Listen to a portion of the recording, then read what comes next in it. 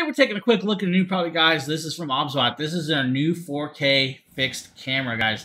This does have the AI integration, so you actually still have that. Now, this will do 4K at 30 frames per second or 1080p at 60 frames per second, guys. That is very, very cool. Now, it does have the half-inch 0.8 Sony sensor built in. And now you guys see this is the little camera itself. Nice little beast. On the back, it has a USB-C. On the bottom, it actually has a tripod screw hole. So if you guys need that. On top, it has a power plug.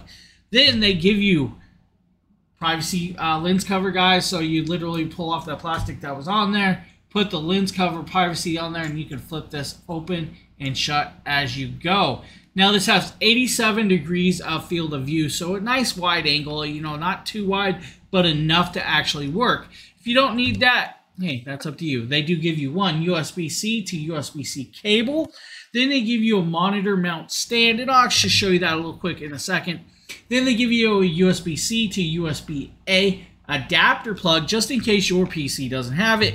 And then they also give you a nice little carrying case to carry everything with you on the go. Now, they do have an OBSBot uh, software, guys, so make sure to download that and add it on. Now, what I'm going to do is I'm going to actually show you guys this. This is actually really cool. So it does swivel down just like this. You set it over the monitor. If you need a little extra grip, of course, adjust this little piece right here.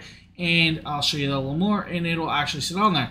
Then you actually have another adjustment up here, which will give you a little more adjustment. Cool thing about this is this is magnetic. So that means this little thing can actually, I hope you guys can see that, right? It's actually magnetic, which is really cool and nice. Now, what I'm going to do is I'm going to actually hook it up. The next view you guys are going to see is actually from this 4K, and we'll see how good it works, right? Be right back one second. Okay, now that we have the OBSBot 4K, guys, hooked up. Now, remember, guys, you will need the Meet Cam software to work this if you want all the extras. Now, as you guys see, nice, clear, crystal picture. It actually looks very, very good. I have no problems with that. Um, I did do a, a playback. The, the, sound wasn't bad, right? It's it's not too bad. I, I can actually deal with the microphone sound, right? It's not super noisy. It's a clear picture, guys.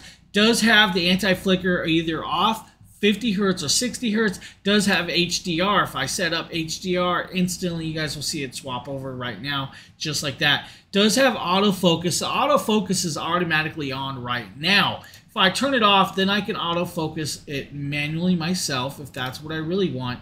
Then we can do face focus or I can turn face focus off. Once face focus off, then you can adjust it and stuff like that. You have face AE, noise reduction, and all that cool stuff. Then you have what's called auto framing. Now I have a single mode. You guys see it just auto frame me close up, right? If I want to change it, do upper body just like that. Group mode. If there was more than one person in here, we could do a group mode. Now, a cool thing is, is that we also have view uh, degree field of view changes. And I could go 65 degrees right there, which brought me close up, right? 78 degrees of view or 86. And then I also have zoom.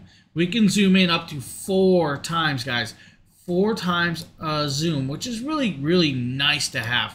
And it's pretty smooth, pretty easy, no problems.